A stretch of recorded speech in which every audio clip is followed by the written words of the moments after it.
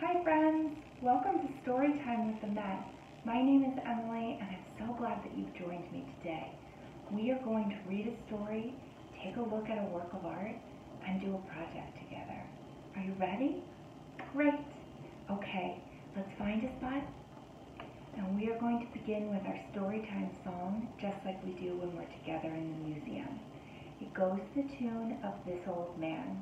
You can sing along with me or just clap. You ready? One, two, three.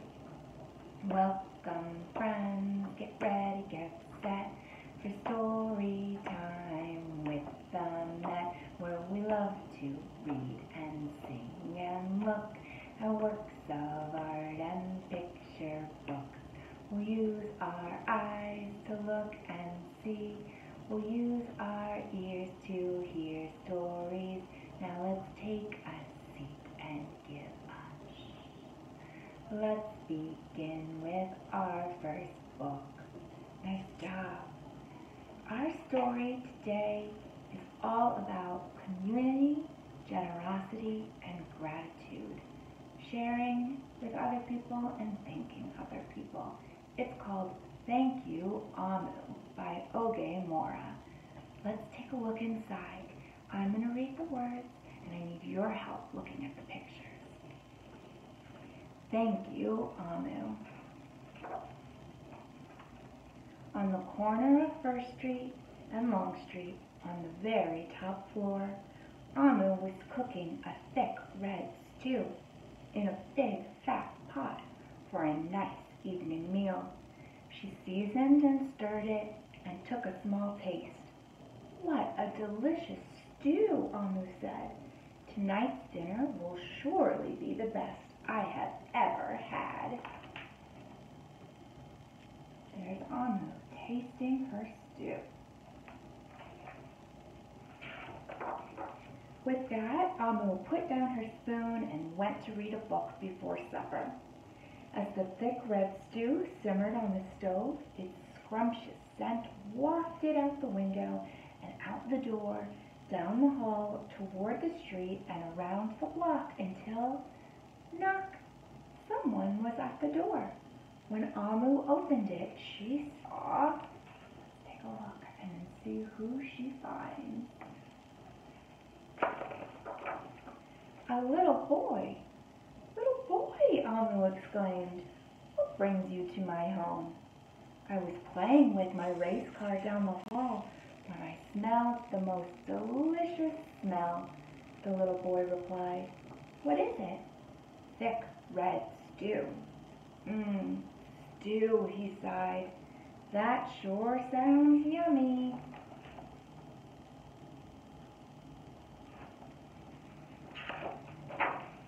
Omu thought for a moment.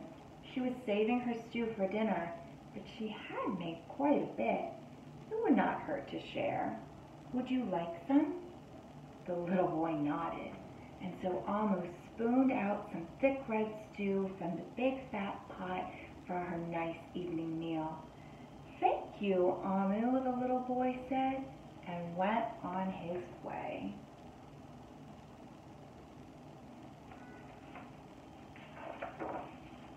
With that, Omu closed the door and went back to her book. As she read, her thick red stew's scrumptious scent wafted out the window and out the door, down the hall, toward the street, around the block, until, knock, knock, someone was at the door. When Omu opened the door, this time she saw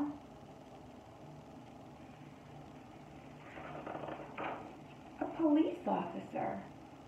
Miss Police Officer, Omu exclaimed. What brings you to my home?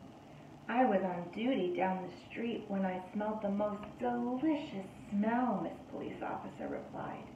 What is it? Thick red stew. Ah, stew, she said, and her mouth watered.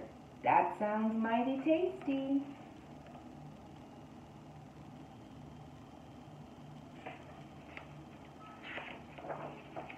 Omu thought for a moment.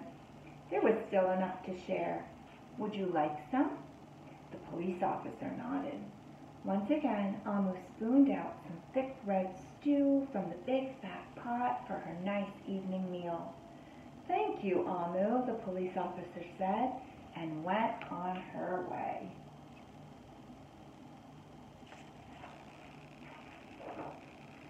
And so, for the second time, Omu closed the door and went back to her book. Sure enough, as she read, her thick red stew's scrumptious scent wafted out the window and out the door, down the hall, toward the street, and around the block until knock, knock, knock. Again, someone was at Omu's door. This time, when she opened it, she saw. Let's see who's going to be there this time. A hot dog vendor. Mr. Hot Dog Vendor, Omu exclaimed. What brings you to my home? I was selling my hot dogs down the block when I smelled the most delicious smell, Mr. Hot Dog Vendor replied. What is it? Thick red stew. Oh, stew, the vendor licked his lips. That sounds quite delectable.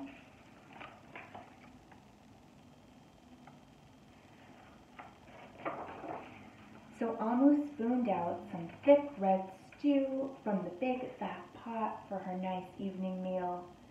Thank you, Omu, the hot dog vendor said, and went on his way. Oh, he smells that yummy stew. Throughout the day, people from all across the neighborhood knocked on Omu's door. She fed a shop owner, a cab driver, a doctor, an actor, a lawyer, a dancer, a baker, an artist, a singer, an athlete, a bus driver, a construction worker. Even the mayor stopped by, and each time they knocked, Omu shared.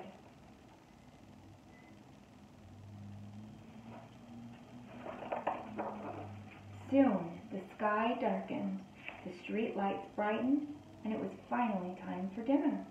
But when Omu opened her big fat pot of thick red stew for her evening meal, it was empty. Oh no! Omu sniffled. There goes the best dinner I ever had.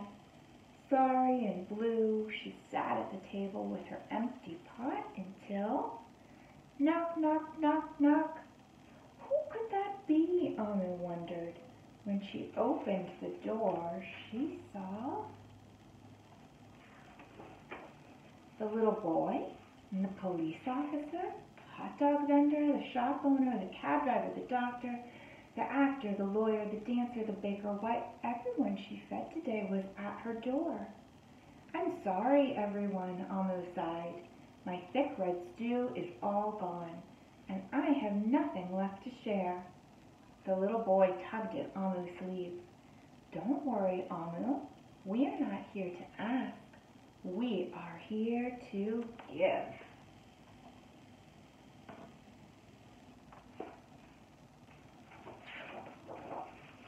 The police officer carried in a fresh salad. The mayor entered with a roast chicken.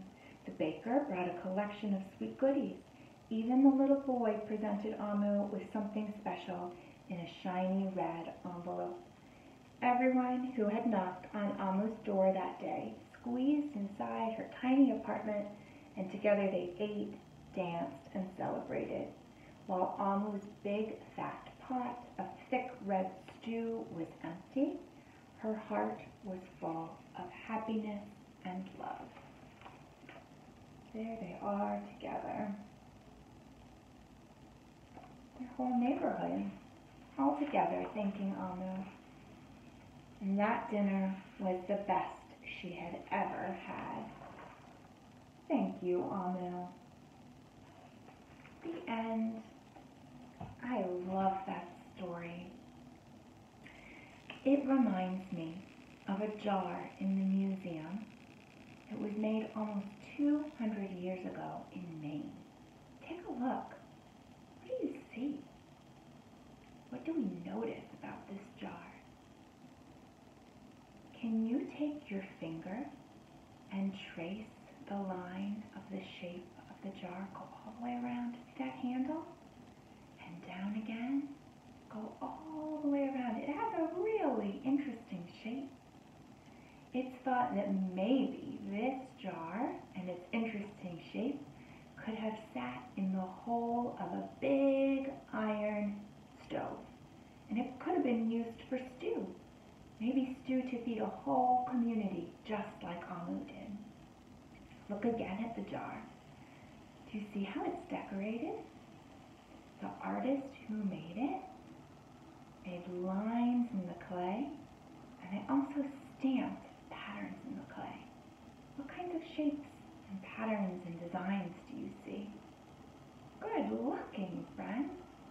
Well, we are going to make a jar or a pot or anything you have at home to share notes of gratitude with our family or friends. Are you ready? Let's see what we're going to do.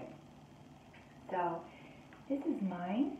I used a paper cup, like a paper pot, and I decorated it all the way around with patterns and lines.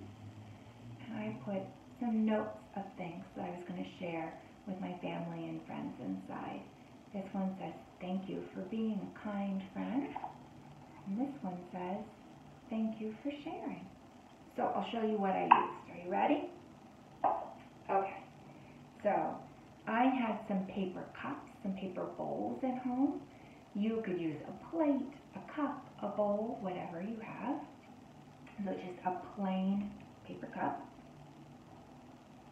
I decorated the outside of it using colored pencils. You can also use crayons or markers or even paint. Now, I stamped on my paper cup just like the artist who made our jar stamped into that clay, pressed into the clay. So I had some stamps that I used and some stamp ink. Right? You can use that too if you have some at home. And I used some fancy paper to cut out my notes and put them inside my jar. Who will you make your jar for? And who will you share a note of thanks can't wait to see what you make. Well, friends, thank you for joining me for Storytime at the Met. We hope to see you again soon. Bye.